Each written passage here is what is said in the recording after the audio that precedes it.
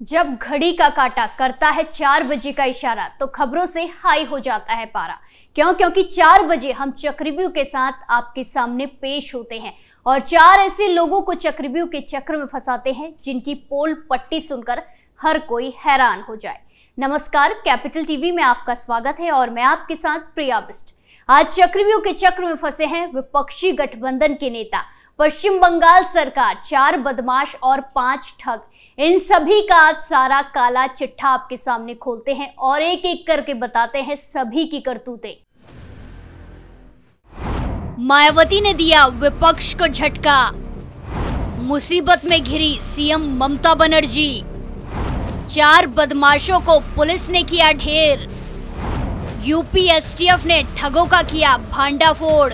पहली खबर की शुरुआत मायावती के तगड़े फैसले के साथ, जहाँ मायावती ने राम मंदिर का निमंत्रण स्वीकार कर सभी विपक्षियों को आईना दिखा दिया है और लोकसभा चुनाव को लेकर विपक्षियों की टेंशन बढ़ा दी है।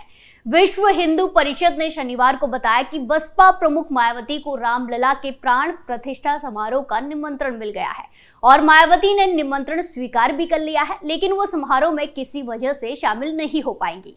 आपको बता दें कि अखिलेश यादव ने कहा था कि उन्हें अयोध्या में 22 जनवरी को होने वाली प्राण प्रतिष्ठा समारोह का निमंत्रण नहीं मिला है। इस पर हिंदू, विश्व हिंदू परिषद का कहना है कि उत्तर प्रदेश के दोनों पूर्व मुख्यमंत्रियों अखिलेश यादव और मायावती को 22 जनवरी को अयोध्या में राम मंदिर के प्राण प्रतिष्ठा समारोह में आमंत्रित किया गया है। सपा प्रमुख अखिलेश यादव को कुरियर द्वारा निमंत्रण भेजा गया था। उस पर कोई विवाद नहीं है। अगर उनके दावे के मुताबिक उन्हें ये नहीं मिला है तो हम उन्हें दोबारा निमंत्रण भेज सकते हैं। मायावती को हमारा निमंत्रण मिला है। उन्होंने इसे स्वीकार किया, लेकिन समारोह में शामिल नहीं होंगी। सभी राजनीतिक दलों के अध्यक्षों को प्राण प्रतिष्ठा समारोह में आमंत्रित किया गया है। वहीं बसपा सुप्रीमो मायावती का ये फैसला बहुत ज़्यादा अहम माना जा रहा है। क्यों? क्योंकि उत्तर प्रदेश की सियासत में इन दिनों मायावती अपने अलग कदम को लेकर सुर्खियों में बनी है कि क्या वो इंडिया गठबंधन में शामिल होंगी या फिर अकेले ही चुनावी मैदान में उतरने का फैसला लेंगी। कांग्रेस और समाजवादी पार्टी ने यह फैसला मायावती पर ही छोड़ दिया है। ऐसे में सबकी नज़रें 15 जनवरी को बसपा सुप्रीमो के जन्मदिन पर टेकी है। माना जा रहा है कि इस दिन वो कोई बड़ा ऐलान कर सकती है और अपनी आगे की रणनीति का खुलासा कर सकती है। ऐसे में जहाँ सभी विपक्षी राम मंदिर को राजनीतिक मुद्दा बनाकर अयोध्या जाने से इनकार कर रहे हैं तो वहीं मायावती ने न्योता स्वीकार कर बड़े संकेत की ओर इशारा कर दिया है। दूसरी खबर में बात मुसीबत में घिरी पश्चिम बंगाल की सरकार की, जहाँ अप्रैल 2020 में महाराष्ट्र के पालघर में दो साधुओं और उनके ड्राइवर की भीड़ द्वारा हत्या कर दी थी। इस मामले में तत्कालीन उद्धव ठाकरे सरकार की चूल्हे हिला दी थी और अब पश्चिम बंगाल में एक बार फिर से भीड़ ने कुछ इसी तरह की घटना को अंजाम देने की कोशिश की। वहाँ साधुओं को नग्न करके उन्हें मारा पीटा गया। पश्चिम बंगाल के पुरोलिया में जिन साधुओं के साथ क्रूरता की गई, उनमें से एक मधुर गोस्वामी ने अपना दर्द बयां किया है। उन्होंने बताया कि साधुओं का दल गंगा सागर के लिए जा रहा था। रास्ते में पुरोलिया में अचानक गाड़ी को रोका गया। मधुर गोस्वामी आगे बताते हैं कि उन लोगों के साथ धक्का मुक्की और मारपीट की गई, गाड़ी को भी तोड़ फोड़ दिया गया। इसके बाद पुलिस प्रशासन वहाँ पहुँचा। साधु ने बताया कि वहाँ 200-300 के करीब लोग थे। बेहोश हो जाने के कारण उन्हें ठीक से याद नहीं है। वहीं आपको बता दें कि भीड़ ने साधुओं पर लड़कियों को लेकर भगाने का आरोप लगाया था। इस पर पीड़ित मधुर गोस्वामी ने बताया कि बाद में वो भी बेटियाँ आई और हमसे माफ़ी मांगने लगी। हमने कहा कि हमसे ही कोई पाप हुआ जो हमें ये दंड भुगतना पड़ा। आप क्या चाहते हैं? वाले सवाल पर उन्होंने कहा कि वो कुछ नहीं चाहते हैं, कोई सजा नहीं चाहते हैं। उन्होंने बताया कि अब वो गंगा सागर भी नहीं जाएँगे क्योंकि उनकी गाड़ी टूट गई है। साथ ही बताया कि अब वो अपने आश्रम को लौट रहे हैं। वहीं अब इस घटना को लेकर पश्चिम बंगाल की सरकार और कानून व्यवस्था पर कई सारे सवाल खड़े होने लगे हैं। जहाँ पुरोलिया से लोकसभा सांसद और राज्य में भाजपा के जनरल सेक्रेटरी ज्योतिमय सिंह महतो ने इन साधुओं से मुलाकात करके उन्हें सम्मानित किया और उनका आशीर्वाद लिया। उन्होंने पीड़ित साधुओं से बातचीत करके जाना कि उन्हें, उनके साथ क्या क्या हुआ। उन्होंने उनकी सुरक्षित वापसी की भी व्यवस्था कराई। बीजेपी के आईटी सेल के प्रभारी अमित वाल्मीकि ने कहा कि राज्य की सत्ताधारी टीएमसी का गुंडा अनवर शेख का इस हमले में हाथ है, जो पश्चिम बंगाल पुलिस में सिविक वॉलंटियर भी है। वहीं अयोध्या श्री राम जन्मभूमि के मुख्य पुजारी सत्येंद्र दास ने भी इस घटना को लेकर पश्चिम बंगाल सरकार पर निशाना साधा है और सीएम ममता बनर्जी पर जोरदार हमला बोला।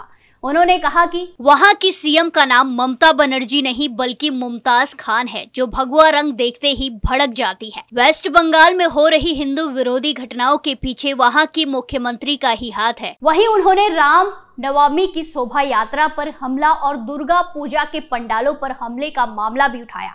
आपको बता दें कि साधुओं से मारपीट के मामले में अब तक 12 गिरफ़्तार हो चुके हैं। बता दें कि साधुओं ने रास्ते में लड़कियों से रास्ता पूछा था। इसके बाद ये घटना हुई। वो मकर संक्रांति स्नान में हिस्सा लेने गंगा सागर जा रहे थे। पुलिस ने भी माना है कि साधु रास्ता भटक गए थे और इसीलिए उन्होंने रास्ता पूछा था।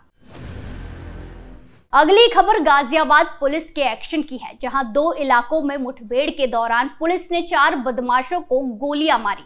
दरअसल, बीते दिन यूपी के गाजियाबाद में पुलिस और बदमाशों के बीच में मुठभेड़ हुई। इस मुठभेड़ में चार बदमाशों को गोली लगी है। घायल बदमाशों को हॉस्पिटल में एडमिट कराया गया है और उनका इलाज चल रहा है। मामले मोदी नगर और शालीमार गार्डन इलाके के हैं। पहले मामले पर गौर करें तो गाजियाबाद के मोदी नगर का है, जहाँ मोदी नगर थाना क्षेत्र में चेकिंग के दौरान चार बाइक सवार बदमाशों को पुलिस द्वारा रोकने की कोशिश की गई। इन चारों बदमाशों ने पुलिस पर फायरिंग कर दी। पुलिस ने जवाबी फायरिंग की, जिसमें दो बदमाश, सुमित और प्रिंस, पुलिस की गोली लगने से घायल हो गए। दोनों को नजदीकी अस्पताल में भर्ती कराया गया है। घायल बदमाशों के दो अन्य साथी बदमाश आकिब और देवेंद्र को भी पुलिस ने गिरफ़्तार कर लिया है। गिरफ़्तार चारों बदमाश 6 जनवरी को मोदी नगर में एक डॉक्टर को लूटने के लिए गए थे। क्लिनिक बंद करके जाते समय बदमाशों ने डॉक्टर को घेर लिया था, लेकिन लूट नहीं पाए। इस दौरान बदमाशों ने खुद को घिरा देखकर कई राउंड फायरिंग भी की और मौके से फरार हो गए। वहीं दूसरी मुठभेड़ की बात करें तो दूसरी मुठभेड़ शालीमार गार्डन थाना क्षेत्र में हुई, जहाँ रात में दो बाइक सवार बदमाशों को पुलिस द्वारा चेकिंग के दौरान रोकने पर दोनों बदमाशों ने पुलिस पर फायर कर दिया। पुलिस ने भी जवाबी फायरिंग की तो दोनों बदमाश पुलिस की गोली लगने से घायल हो गए। दोनों ही घायल बदमाश संजय और आदिल को नजदीकी हॉस्पिटल में भर्ती कराया गया है। पुलिस ने इन बदमाशों के पास से हाल ही में हुई लूट की घटना का सामान भी बरामद किया है। आखिरी खबर में बात ठगी करने वाले गिरोह की, जहाँ नौकरी दिलाने के नाम पर ठगी करने वाले गिरोह का भंडाफोड़ हुआ है। उत्तर प्रदेश की राजधानी लखनऊ में सरकारी नौकरी के नाम पर ठगी करने वाले गिरोह का पर्दाफाश हुआ। पुलिस इस गिरोह के सदस्यों को गिरफ़्तार कर उनसे पूछताछ कर रही है। इस कार्रवाई को यूपी की टीम ने अंजाम दिया है। अधिकारियों का कहना है कि आरोपियों से पूछताछ में और भी खुलासे हो सकते हैं। पुलिस के अनुसार ये लोग सरकारी विभागों में नौकरी से लेकर ट्रांसफ़र, पोस्टिंग के नाम पर ठगी किया करते थे। यूपी एसटीएफ ने इस गिरोह के मास्टरमाइंड के साथ साथ पाँच आरोपियों को गिरफ़्तार किया है। वहीं इस मामले में यूपी एसटीएफ के अपर पुलिस अधीक्षक विशाल सिंह ने बताया कि सरकारी विभागों समेत ट्रांसफ़र पोस्टिंग कराने का झांसा देकर ठगी करने वाले एक गिरोह के संबंध में सूचना मिली थी, जिस पर एसटीएफ निरीक्षक संजय सिंह के नेतृत्व में एसटीएफ टीम द्वारा तकनीकी आधार पर छानबीन शुरू कर दी गई। इसी बीच शुक्रवार को करीब साढ़े तीन बजे मुखबिर की सूचना पर लखनऊ के थाना सुशांत गोल्फ सिटी पुलिस के सहयोग से छापेमारी करके इस गिरोह के मास्टरमाइंड सहित पाँच लोगों को गिरफ़्तार करने में कामयाबी मिली है। वहीं आपकी जानकारी के लिए बता दें कि ये आरोपी आर एम एस एस नाम की संस्था बनाकर लोगों के साथ ठगी को अंजाम दे रहे थे। वहीं यूपी एसटीएफ ने जिन आरोपियों को गिरफ़्तार किया है, उनमें अमित तिवारी नवीन कुमार राय, गगन पांडे, आशीष भारद्वाज और विकास यादव शामिल है। इनके पास से एसटीएफ ने पंद्रह मोबाइल फ़ोन, चौदह एटीएम कार्ड, एक रेलवे पास, सात वोटर आईडी कार्ड, तीन फर्जी परिचय पत्र के साथ साथ भारी मात्रा में कई विभागों के कागजात बरामद किए हैं।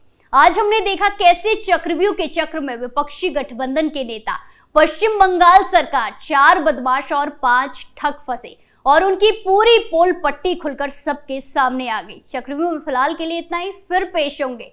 सनसनीखेज खुलासों के साथ बाकी तमाम खबरों के लिए देखते रहिए कैपिटल टीवी। नमस्कार।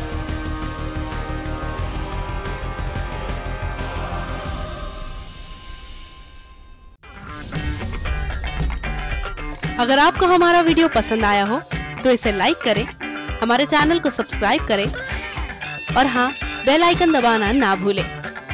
ताकि आप तक हमारे वीडियो की नोटिफिकेशन पहुँचती रहे।